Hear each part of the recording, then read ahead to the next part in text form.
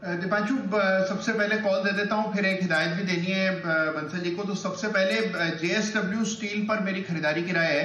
Chart पर एक बड़ा ज़बरदस्त ब्रेकआउट अभी अभी आता हुआ दिख रहा है। ये स्टॉक लाइफ टाइम हाई पर चल रहा है। जिस तरह का स्ट्रक्चर है, एक पैटर्न बना है, जिसको कप विद हैंडल पैटर्न कहते हैं, और ब्रेकआउट हुआ है 890 के ऊपर।